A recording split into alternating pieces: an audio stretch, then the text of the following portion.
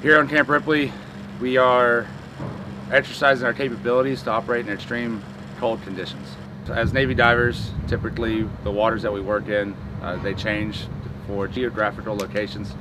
Uh, majority of the time we're diving in uh, warmer to, to intermediate temperatures. Coming up here gets us the experience to not only operate in extreme cold waters, but topside conditions as well.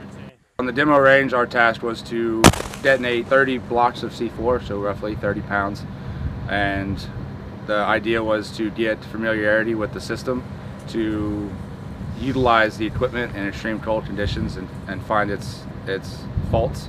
A few of the challenges we faced are, again, the extreme weather conditions.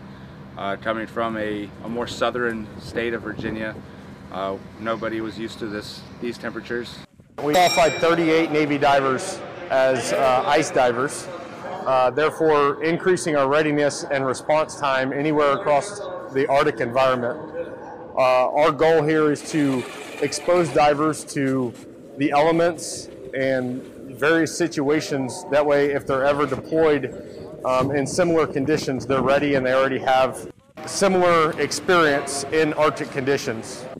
The other part of this is to allow them to see what kind of equipment we could use to better our mission and make things more convenient, things that work better under the ice, things that we could possibly purchase in the future to make our jobs more efficient. Camp Ripley is a, uh, a great place to train. It's a proven place that we can come at any, any time to get some really great ice diving experience. Uh, the weather is phenomenal here and I see us in the future using this quite a bit. The support on this base has been absolutely perfect for ice diving. Camp Ripley offers everything that you could ask for for extreme cold conditions.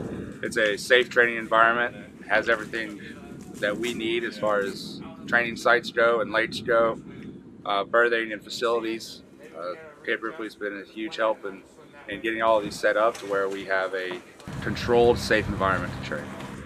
On behalf of the commanding officer of MDSU 2 and the Mobile Diving Salvage Unit 2 family, uh, we're forever grateful for the hospitality at Camp Ripley. Everybody here is acting like it's a one team, one fight type mission, and they're here to support.